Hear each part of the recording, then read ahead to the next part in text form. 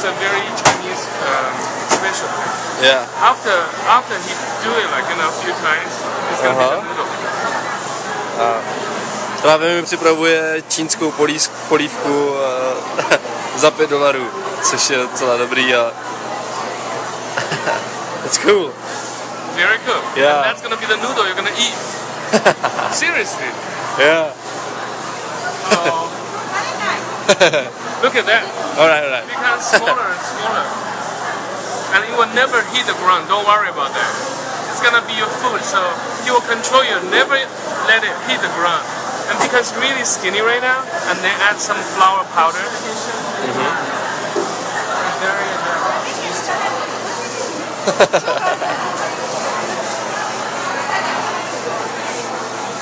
and then he add a little bit more oil, and Uh-huh. then in order not to let it become too sticky, and he had more flour.